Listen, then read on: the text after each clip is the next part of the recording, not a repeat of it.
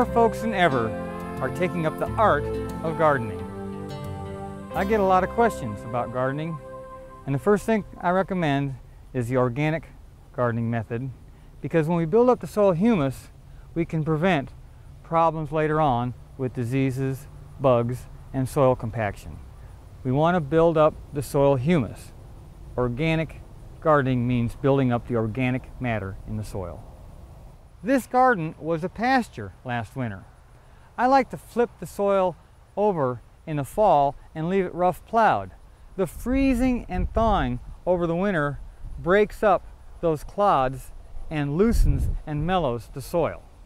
It's often too wet to plow in early spring and the grass loves to grow in the spring. So it's better to take care of that in the fall, otherwise it's harder to get rid of. A black spot on the blossom end of a tomato is called blossom end rot. And this is an indicator that your ground needs lime. We have to use lime because calcium leaches out of the soil with the rains and is also removed when we take off the crops. Farmers spread lime at the rate of one to two tons per acre.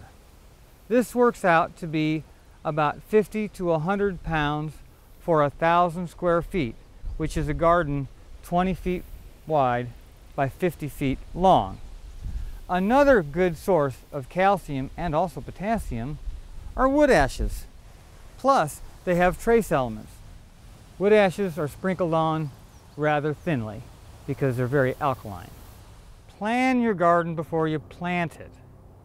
Seed catalogs and seed packets have lots of useful information on them about how far apart to space your plants and also the times to plant them.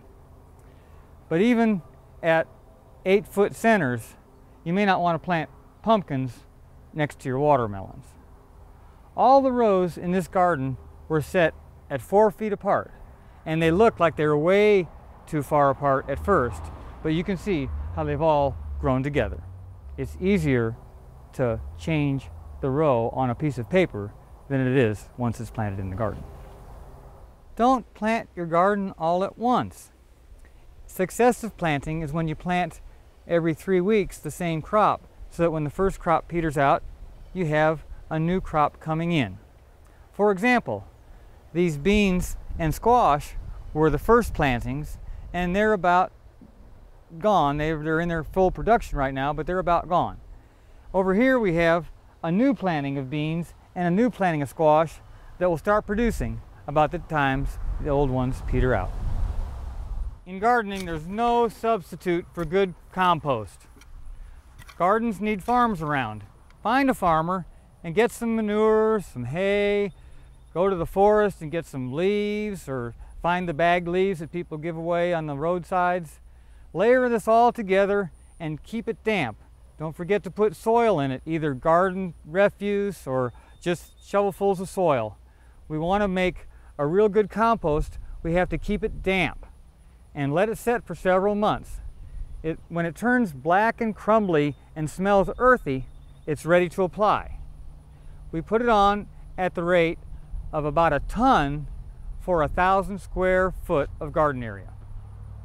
The places where farmers feed out these rolls of hay eventually make a real nice black humus compost that oftentimes they'll let you have.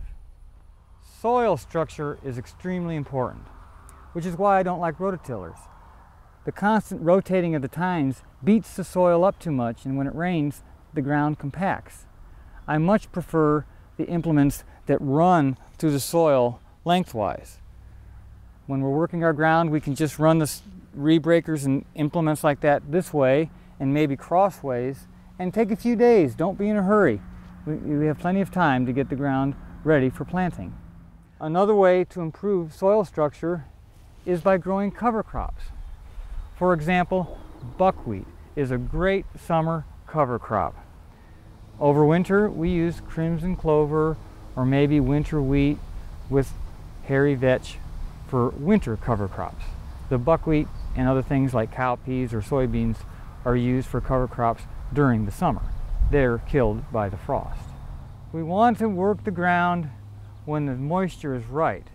If you can pick up a handful of soil and squeeze it, when you drop it, it should shatter.